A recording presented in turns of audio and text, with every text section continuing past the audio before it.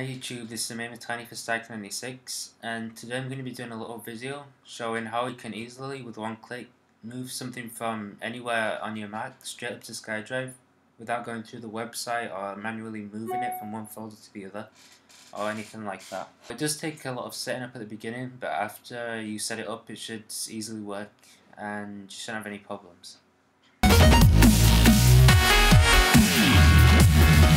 First thing you want to do is you want to go to whatever web browser you use and click on Get SkyDrive Apps. And when you get to this website, you want to scroll down till you get to download SkyDrive here. And then click, not click, click download SkyDrive for Mac.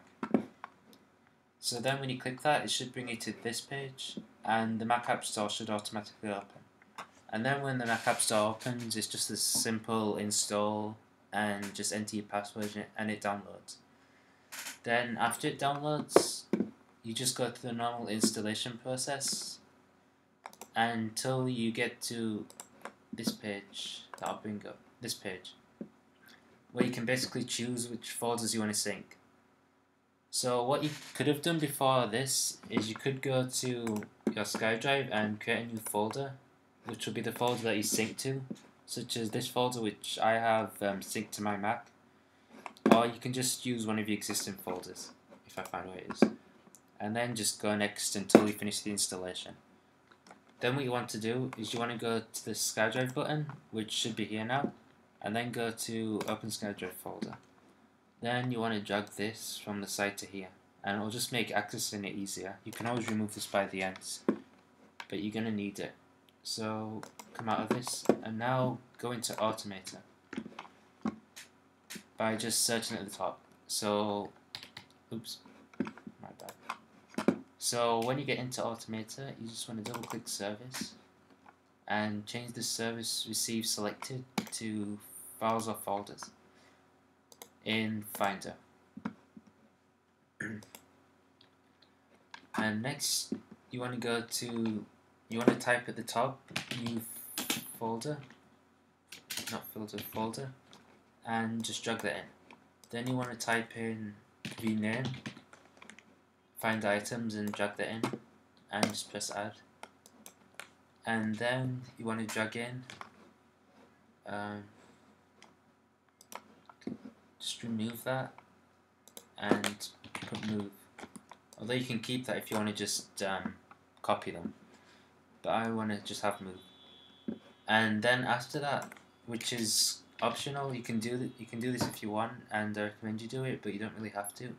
You just type in notification or just notify or notif and just drag display notification in. And this will just show a standard um, a notification center notification. And in here you can just type whatever you want and this will just show at the side of it.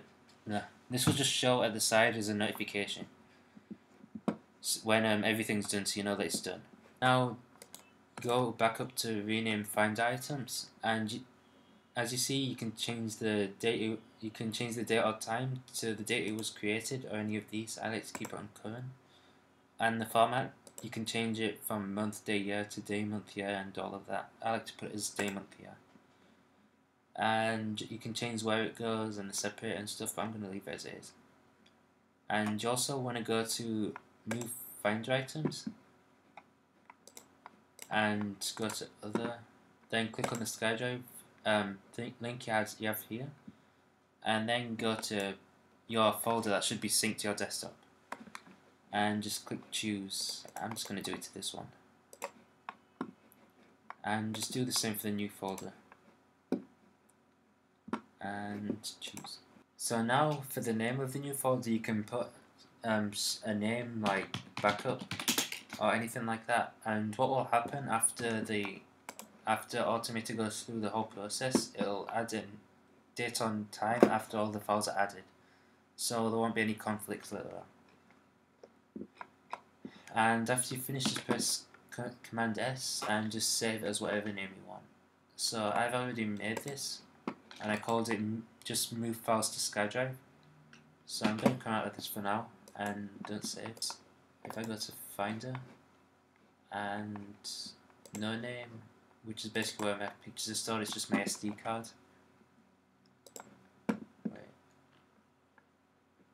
Okay, yeah, it's having a bit of a problem. So I'll just go to desktop and I'll just move this screenshot.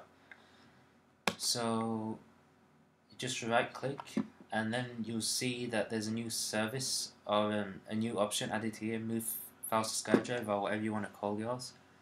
And if you just click it, then you should see that the file has moved.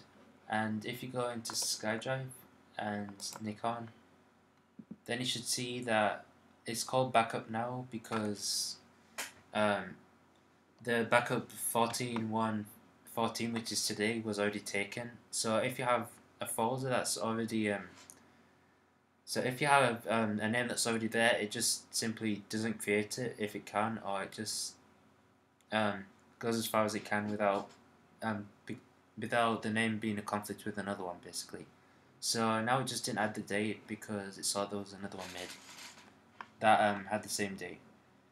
And obviously this isn't going to be a problem if you um, make, um, if you only do this like once a day, or if you're removing single folders and don't want to have the single files and don't want to have the folder option, you just want to have it go straight there.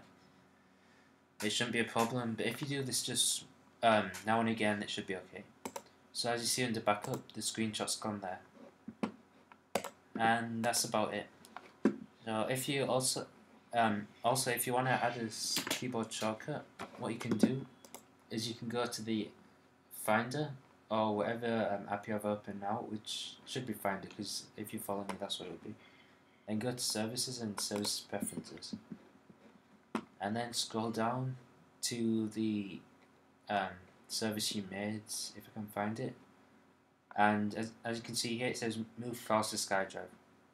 So if you click on that and you click on the side here which should say add shortcut view but I've already added one just click on it and then you can just type in whatever shortcut you want I'll just type in the letters that you want to be the shortcut and just exit it and now if I move this back to the desktop and delete this you should see that if I press the um, keys that I use for the keyboard shortcut okay, it's having a bit of a problem.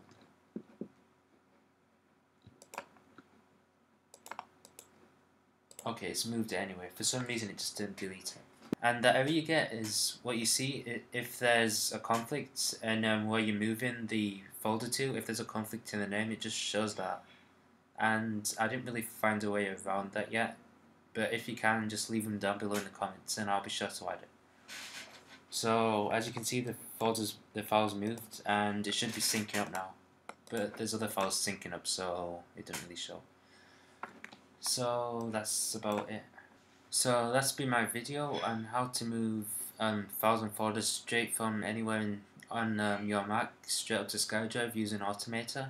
If you if you like this video, please give it a like over there and subscribe down here somewhere and comment if you have any comments or you have any way I could improve um, this service or anything like that or just want to say hi or something.